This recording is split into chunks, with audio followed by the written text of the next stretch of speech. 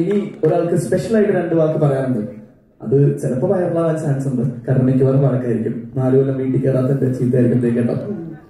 Hello എല്ലാവർക്കും നമസ്കാരം. എന്നെ ഇന്ന്? അന്ന് എനിക്ക് ആദ്യമായിട്ട് സിനിമ കണ്ടപ്പോൾ ഞാൻ കരഞ്ഞു പോയി. ശരിക്കും എനിക്ക് നിയന്ത്രിക്കാൻ പറ്റിയില്ല. എനിക്കൊരു പ്രത്യേക പരിസരബോധം നഷ്ടപ്പെട്ട് എന്തൊക്കെയോ ഞാൻ വെച്ച് പറഞ്ഞു. അത് ഞാൻ തിരിച്ചു കണ്ടപ്പോൾ എനിക്ക് ഇന്നിപ്പോ വിഷമം തോന്നി. പിന്നെ ഞാൻ ഓർത്ത് ഒറിജിനൽ അന്ന് എല്ലാവരും വാർത്തകൾ ആ സ്വഭാവം കണ്ടു ചോദിച്ചാൽ ചോദിച്ച വിഷമമില്ല. എന്റെ എന്റെ മോൻ ചെയ്ത വികാരഭരിതമായ സിനിമ കണ്ടപ്പോൾ ഞാനും വികാരഭരിതയായി പോയി അത്രേ ഉള്ളൂ.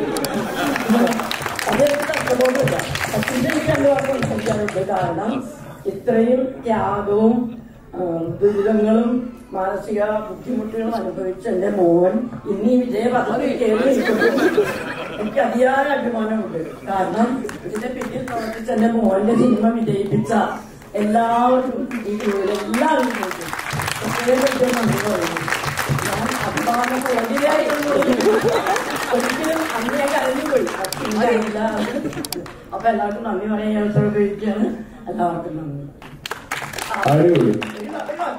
ഞാൻ ആദ്യം നന്ദി പറയുന്നത് തന്നെ സർവശക്തനായ ദൈവത്തോളം കാരണം എത്ര കൊല്ലമായി ഞാൻ പ്രാർത്ഥിച്ചിട്ടുണ്ട്.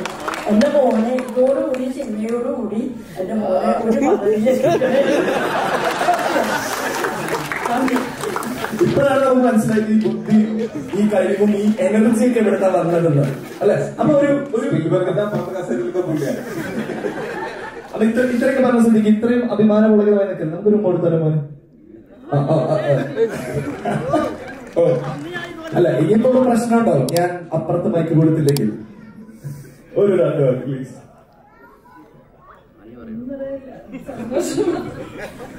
അഭിമാനം. ഉറപ്പാണോ?